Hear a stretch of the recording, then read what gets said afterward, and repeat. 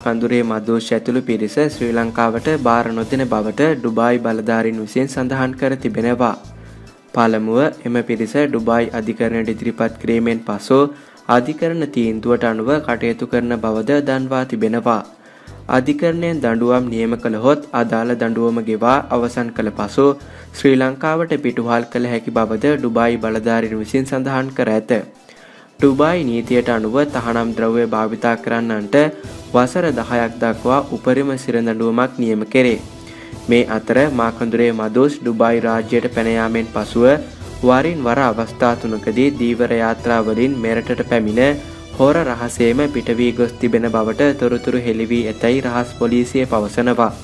මදෝෂ් මේ අවස්ථා තුනේදීම මෙරටට පැමිණ ඇත්තේ මාතර මිරිස්ස වෙරළතීරයෙන් බවත් ඩුබායි සාදයේදී අත්අඩංගුවට ගනු ලැබූ පුද්ගලයෙකුගේ නිවසට පළමුවෙන්ම පැමිණ පසුව වෙස්වලාගෙන විවිධ ප්‍රදේශවලට ගොස් සිදුවීම් කිහිපයක් මෙහෙවා ඇති බවද රහස් පොලිසිය විමර්ශනවලදී හෙළි කරගෙන තිබෙනවා.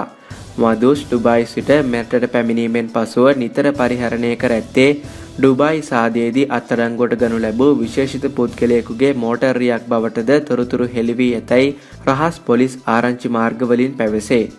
මදුෂ් ඩුබායි සිට මෙරටට පැමිණීමට බහුදින දීවර යාත්‍රා සැපවූ පුද්ගලයෙකු ගැනද මේ දිනවල සෙවිල්ලෙන් පසුවන බව රහස් පොලිසිය පවසනවා.